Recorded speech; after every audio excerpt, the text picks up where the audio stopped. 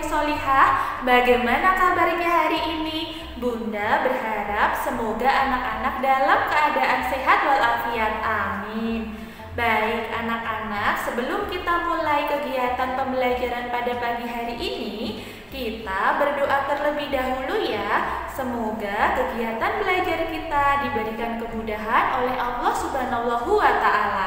Sika berdoa, hak Before we start our lesson let's say basmalah together. Bismillahirrahmanirrahim. Amin. Baik anak-anak, Bunda akan mengajak anak-anak untuk bernyanyi ya supaya anak-anak lebih bersemangat lagi di hari ini. Sudah siap? Anak-anak boleh sambil berdiri ya. Satu, dua, tiga. Jika kau anak hebat bilang hore, hore. Jika kau anak hebat bilang hore, hore. Jika kau anak hebat, mari kita belajar, belajar bersama Bunda Esa. Yeay, sudah lebih bersemangat ya. Nah, anak-anak setelah ini silakan menyiapkan yang pertama alat tulisnya, yang kedua silakan menyiapkan buku paket tematik tema 2E, subtema 1 pengalamanku di rumah.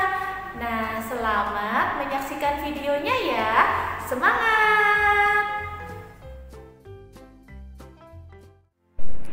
Halo anak-anak hebat, hari ini kita akan belajar tentang ungkapan permintaan maaf dan puisi Tema 2E, subtema 1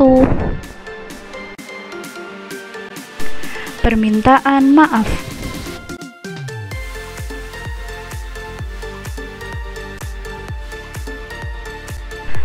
Permintaan maaf diucapkan apabila yang pertama seseorang melakukan kesalahan, yang kedua tidak sengaja menjatuhkan sesuatu milik orang lain, dan yang ketiga tidak sengaja menabrak teman.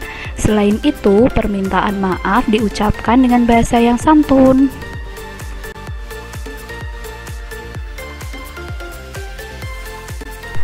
Permintaan maaf Kalimat yang menunjukkan permintaan maaf biasanya diawali dengan kata "maafkan". Ayo membaca. Maafkan Nina dan Adi, Bu. Kami pulang terlambat. Kami sudah membuat Ibu khawatir. Iya, Nak. Ibu maafkan. Lain kali kalian harus ingat waktu jika bermain ya. Baik, Ibu. Kami tidak akan mengulanginya lagi.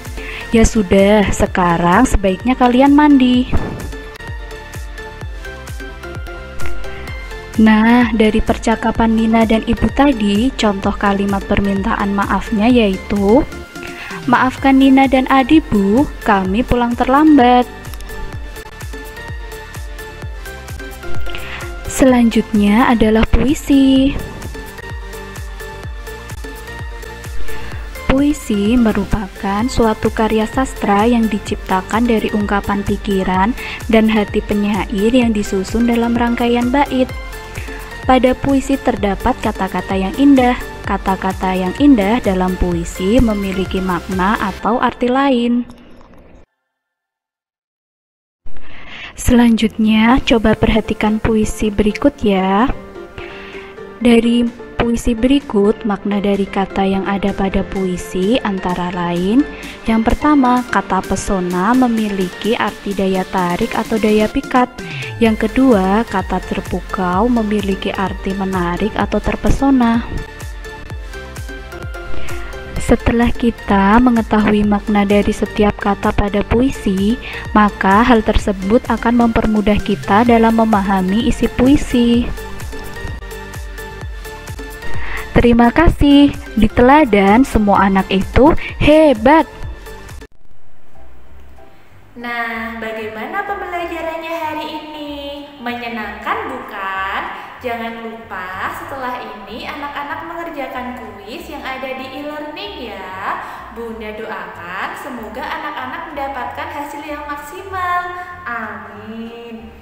Nah, anak-anak, sebelum Bunda akhiri, Bunda berpesan kepada anak-anak yang pertama untuk senantiasa melaksanakan sholat lima waktu.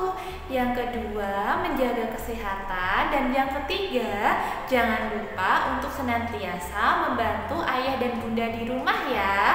Baik, bunda akhiri pembelajaran kita pada hari ini. Semoga ilmunya bermanfaat ya. Nah, tatim bilhamdallah, alhamdulillah. Di teladan, semua anak itu hebat. Wassalamualaikum warahmatullahi wabarakatuh.